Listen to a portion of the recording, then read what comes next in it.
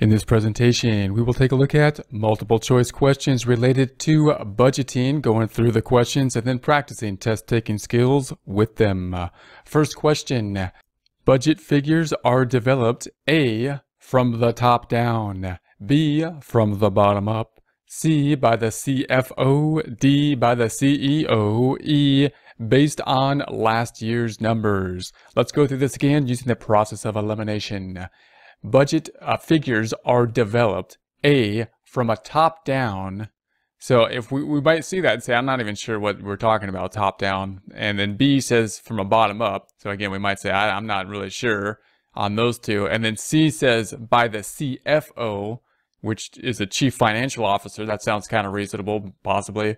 And e says by the ceo chief executive officer. Office another big person of the company seems kind of reasonable and then E says based on last year's numbers. And we know that that's kind of the starting point of a budget. So the first one I'm going to re remove is is going to be E here, however, because anytime that a budget process in a formal and a question says it's only based on the last year's numbers, it, it's not normally going to be the answer. It's got to qualify that somewhere. The last year's numbers are the starting point. They aren't. We can't just take last year's numbers and roll them forward. It doesn't. That's not how the budgeting process is going to work. At least for uh, a book problem, so it's not going to be E. So let's go through this again. Budget figures are developed either from a top down or bottom up, and then we've got the CFO or the CEO. Now, of these four, these two, the CFO and the CEO, would indicate that all the figures are developed by one person in the organization, the CFO or the CEO, as if they just kind of like one person's gonna, when a big company, they're gonna know how to do the whole entire budget with no help. That's that's not going to happen. That's not the way it's going to work.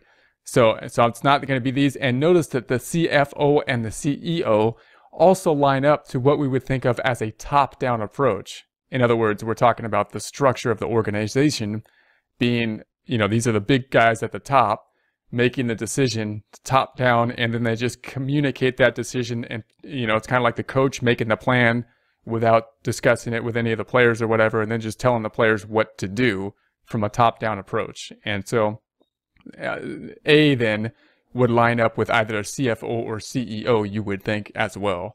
So, and really what we want here, typically we're thinking that the budget for a larger company is often going to be a bottom up type approach. Again, a very small company is probably going to be completely run by like a, it's almost like a dictatorship, right? Because it's a small company and the one owners do